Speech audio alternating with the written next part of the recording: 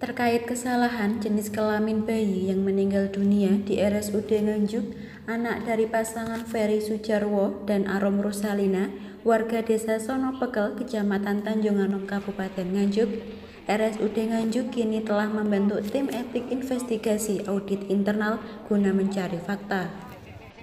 Meski jenazah bayi telah dimakamkan keluarga di pemakaman umum desa setempat, tetapi pihak rumah sakit tetap terus melakukan penyelidikan untuk membuktikan kebenaran dari jenis kelamin bayi yang meninggal dunia.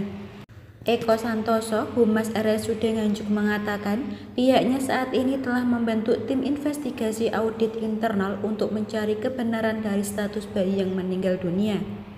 Kita juga masih menunggu hasil dari tim yang sedang melakukan audit. RSUD juga telah melakukan mediasi kepada keluarga serta menunggu hasil tes DNA dari Rumah Sakit Bayangkara Kediri. Gini ya, jadi dengan adanya kejadian rumah sakit membentuk tim investigasi audit internal yang dilakukan oleh tim etik RSUD. Jadi nanti hasilnya uh, kita tunggu aja. Tujuan dibentuknya tim itu untuk apa? Ya untuk uh, me peristiwa itu, mencari peristiwa itu bagaimana duduk persoalan. Sudah melakukan mediasi Pak dengan pihak? Ya ada, ya kita uh, pas kejadian itu sudah mendatangi dari keluarga pasien tersebut.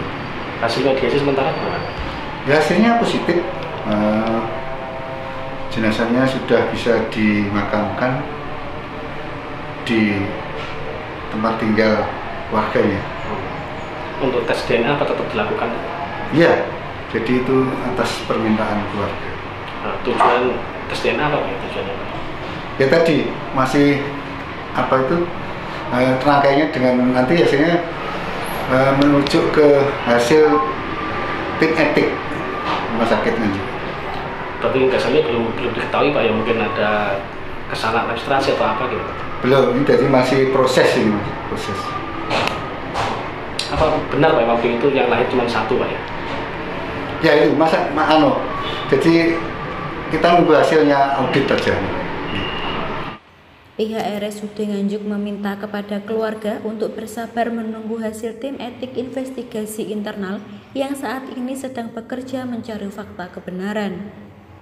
Sementara Bupati Nganjuk usai rapat paripurna di gedung DPRD Nganjuk menyikapi kesalahan jenis kelamin bayi yang meninggal dunia, menyarankan untuk meminta keterangan langsung dari Direktur RSUD Nganjuk. Ia mengaku juga telah mendapatkan laporan, tetapi apabila keluarga menghendaki, maka disarankan untuk menempuh jalur hukum.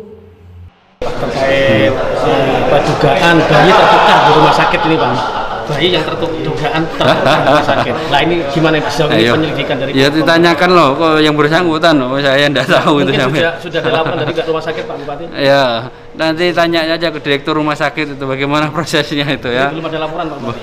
Sudah dilaporkan, tapi saya suruh nindai pada apa hukum ya. Dari Nganjuk, Siti Nur Khalifah melaporkan.